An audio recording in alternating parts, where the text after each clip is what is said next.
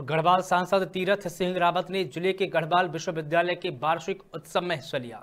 इस दौरान प्रधानमंत्री नरेंद्र मोदी ने विकसित भारत संकल्प यात्रा कार्यक्रम के तहत देश के विभिन्न राज्यों से जुड़े लाभार्थियों से वीडियो कॉन्फ्रेंस के माध्यम से संवाद किया।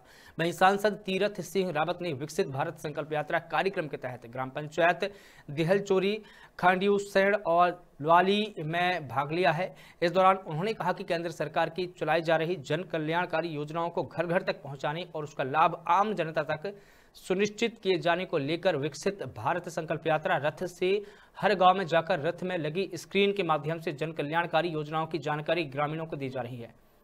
पौड़ी से मुकेश बछेती की रिपोर्ट।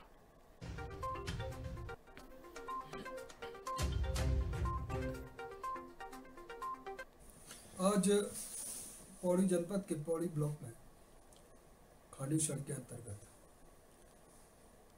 विकसित भारत संकल्प यात्रा का एक कार्यक्रम।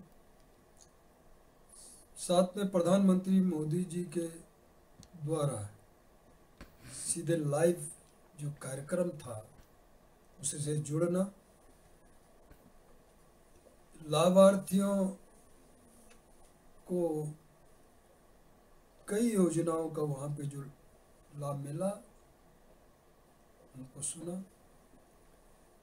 ऐसे कार्यक्रम में जो रहा, बहुत ही एक अच्छा कार्यक्रम मैं कह सकता हूँ, क्योंकि वहाँ पूर्ण रूप से ग्रामीण की महिलाएँ बड़ी संख्या में पहुँची थी।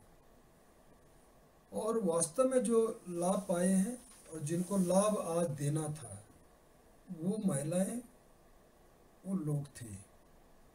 बाकी भी थे। तो बहुत सारे योजनाओं, जो लाभ लिया, उन लोगों ने अपने अनुभव सुनाए। और साथ में, जिनको आज लाभान्वित किया गया तो यही नहीं उज्ज्वला गैस कनेक्शन देने का भी काम